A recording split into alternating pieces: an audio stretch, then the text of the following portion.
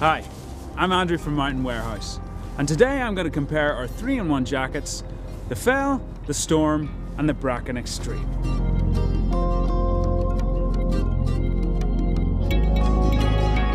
This is the Fell, the entry-level style of our 3-in-1 jackets.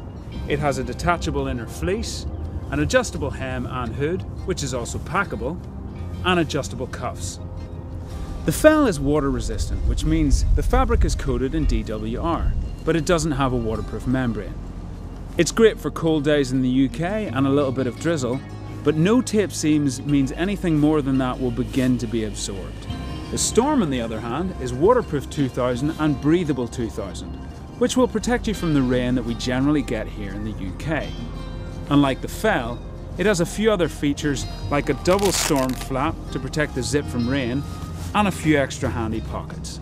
If you're in a Mountain Warehouse store, touch the fabric in each of these jackets and you'll really feel a noticeable difference. If that's not enough for you and you want a jacket that will perform for prolonged periods of time in extreme weather conditions, then we have the Bracken Extreme. It's a really high spec waterproof, IsoDry 10,000, breathable 5,000. It's also got a detachable soft shell inner jacket and its mesh lined for improved breathability. So, if you're facing the elements in our best jacket, you're really going to be able to tell when the weather turns bad.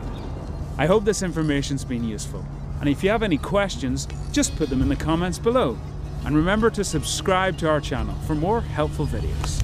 Thanks for watching.